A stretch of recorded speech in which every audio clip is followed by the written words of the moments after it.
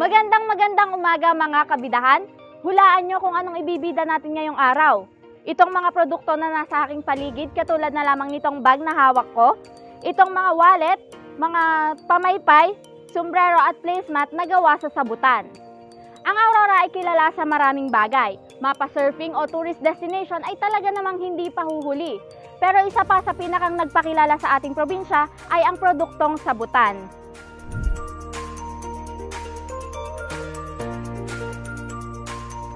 Tinungo natin ang Barangay Kalabanan kung saan marami pa rin ang bihasa sa paggawa ng mga produktong gawa sa sabutan.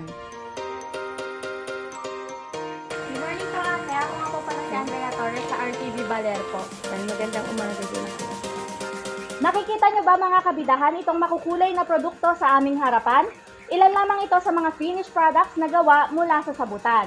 At ngayong umaga makakasama natin si Ate Evelyn Espinosa na siya magpapaliwanag sa atin na, ng proseso kung paano ginagawa ang mga sabutan. Ayan ate, good morning po. Good morning din po. Ate, pwede niyo po bang ipaliwanag sa amin yung proseso simula sa pag-aani ng mga sabutan? Ah, una po, ang pag-aani po ng sabutan, kailangan pong ma- alitin mo po yung sa puno sa pamamagitan po ng gapas. Tapos, pagkaalit mo po sa puno, kailangan pong ibutolan, tatanggalan po ng tinik sa gitna. Kailangan pag naibutolan mo po siya, ipapalanay mo po siya ng kaunti sa araw. Pagkatapos po niyang malanay, kailangan pong bulayin. Tatanggalan mo po ng tinik kabilaan.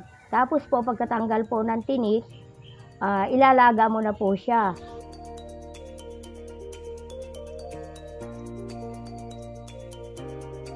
Tapos pagkalaga po, ibababad. Ah, magdamag mo po siyang ibababad. Pagkatapos po siyang mababad, iaahunin mo po sa umaga, ibibilad. Tapos sa paghapon, ay dituyo na po yun. O hindi tatali-taliin mo po, bababatin mo. Kailangan po sa isang babat ay tatlong mahaba, isang panugda. Iyon po yung tinatawag na isang babat. Tapos po, pagka naman po gusto ng may kulay, Ah, yun po ay kukulayan namin. Magpapakulo po kami ng tubig sa malaking kaldero, tapos lalagyan mo po yun ng pangkulay. Tapos, yung sabutan na natuyo, doon mo po siya kukulayan. Ah, hahalu-haluin mo siya hanggang gumanda yung kulay. Pagkatapos po siyang makulayan, o di bibilad mo po uli sa araw. O tapos po pagka naman na bilad na, ay aahunin na po siya. O, yun na po yung ipinapagawa po namin sa mga maglalala. Yun po yung binibigay namin, dinidistribute namin sa bawat maglalala. Bali ate, yung proseso po mula sa pag-ani hanggang sa pwede na siyang lalahin, mga gano'n po katagal yung span na ilang linggo or ilang araw po yung ginugugol natin para dito sa process na ito. Yung maghapon ng mga nag-harvest, nakakatatlong bundle lang sila sa maghapon. Iyon na yung mabilis na iyon. So, yung pagproseso ng mga tatlong bundle, ha- kailangan sa maghapon magawa mo iyon. Kung ilan lang yung kaya mong gawin sa maghapon, iyon lang yung kukunin mo sa puno. Kasi hindi na yung pwede na kinabukasan ka na naman kasi namumula din. Kaya dapat, ang haharbisin mo lang, yung kaya mo lang gawin sa maghapon. Bali ate, ilang taon na po kayong ah, nasa ganito pong business? Ano, mula kasi nung nag-asawa ko, nag-focus na kasi ako sa sabutan. At 25 years, kasi 21 ako na mag-asawa ay. Kaya 25 years na. Sa ngayon po, ilan po kaya yung maglalala natin dito sa dito lang po sa Kalabuan? Dito sa Kalabuanan, nasa 30 ang maglalala ko dito. Pero meron kasi din ako sa ibang lugar sa dito, ma ay Dibukaw. Ngayon mga kabidahan, ipinaliwanag ni Ate Evelyn sa atin ang proseso at mga terminolohiya nilang ginagamit sa pagsasabutan. Pupunta kami ngayon sa taniman ng sabutan at i-experience ko firsthand kung paano nga ba ang ginagawa ng isang magsasabutan.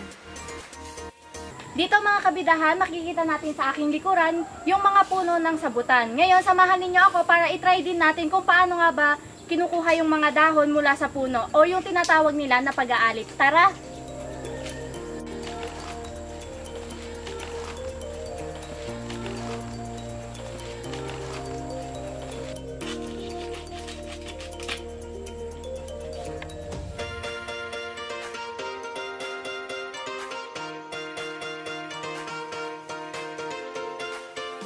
Ito naman mga kabidahan, yung pag-aalis ng mga buto o yung tinatawag nila na pag-iibutol. Bale, yung nasa gitna, kung nakita nyo kanina doon sa ah, inalit natin, bale magkasama silang ganyan. Tapos dito naman, aalisin nila yung nasa gitna o yung tinatawag nilang buto. Tapos later on, ang aalisin naman nila is yung mga tinik sa gilid.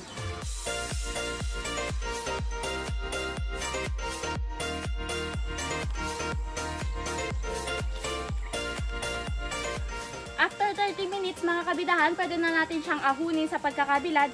Tapos ang gagawin na natin ay yung pagbubulay.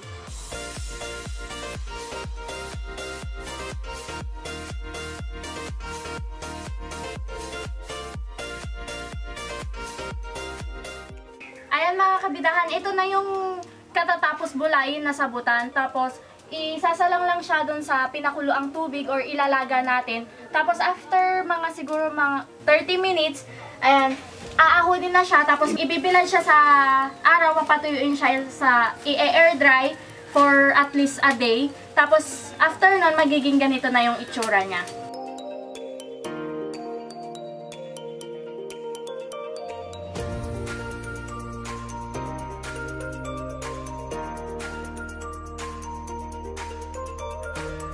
Sa ibang pagkakataon mga kabidahan, ipapakita naman natin ang proseso ng paglalala ng mga sombrero na gawa din sa sabutan.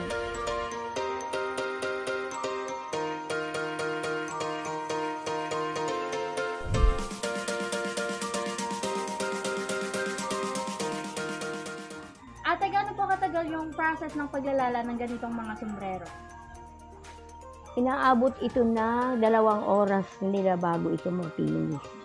Kasi aamirin mo pa, gagapuhin, tutuktukan, popa, tapos paldiya, susuktukan, bago pa nila mayari. Kaya aabutin sila ng dalawang oras Ate, sa isang sombrero. sa isang araw po kaya mga ilang sombrero po yung nagagawa ng mga maglalala natin? Ang kaya lang nila mga tatlo hanggang apat.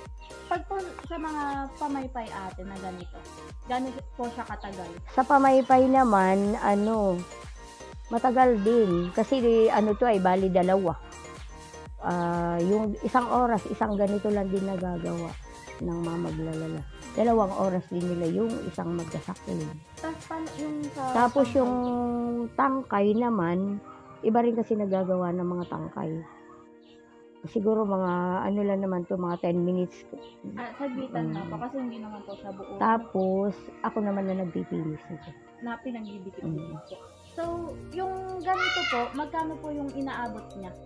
Ito ang kuha ko kasi sa mga weaver ko, 35. Tapos ang deliver ko lang, pagka kasi dito sa Baler, magkaiba kasi ang presyo. Dito kasi sa Baler, ang deliver ko lang dito 50 pesos. Yan nga mga kabidahan, makikita natin dito sa isang souvenir shop ang ilan sa mga finished products ng sabutan at ilan lamang ito sa mga pwedeng paggamitan ng sabutan. Tunay nga mga kabidahan na ang paggawa ng sabutan ay matatawag nating labor of love. Kapareho ng mga makukulay na hibla ng sabutan, ang aurora ay talaga namang maraming tinatagong kagandahan. Yan muna mga kabidahan, hanggang sa susunod na istoryang aming ibibida sa inyo. Ako ang inyong kasama, Andre Torres, at kayo ay nanonood ng Ibida Natin To.